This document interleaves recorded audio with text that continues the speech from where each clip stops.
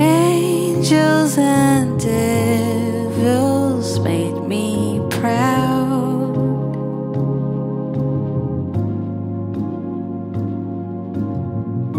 Stories I tell.